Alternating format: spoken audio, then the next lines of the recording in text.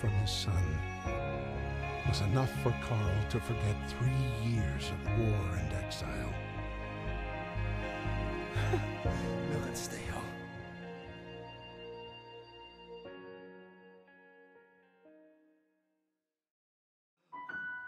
After weeks without news of Emile, Marie finally received a letter from her father.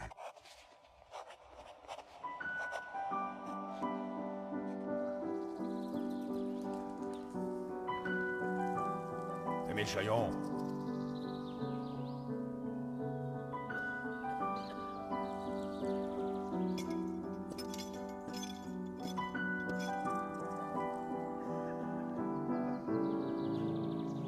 C'est l'heure.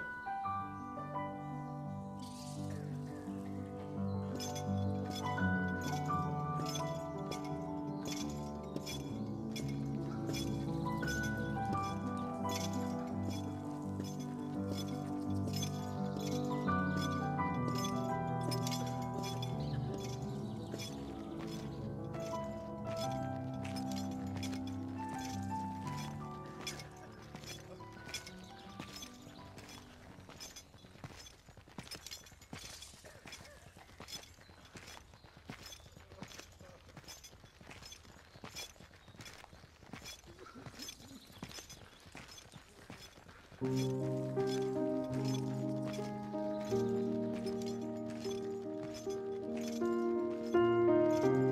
Marie, as the war ends for me, I have no regrets. I've seen too much horror. I hope fate has been more merciful to you. Our time on Earth is brief, and mine has been filled with so much joy that I can only be thankful for how much I've been blessed. Most especially for the wonder you brought into my life. This letter is my last. I've been found guilty by a military court for the death of an officer. It was not my intention to kill him. War makes men Though I failed Karl, I know my sacrifice has not been in vain.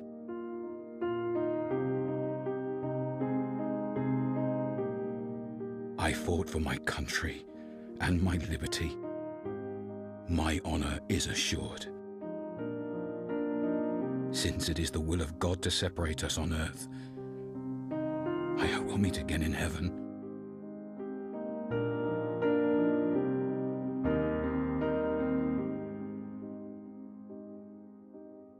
Me in your prayers.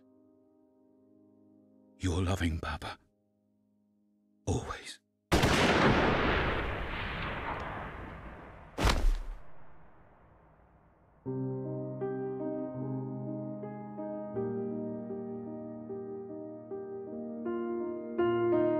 Even though their bodies have long since returned to dust, their sacrifice still lives on.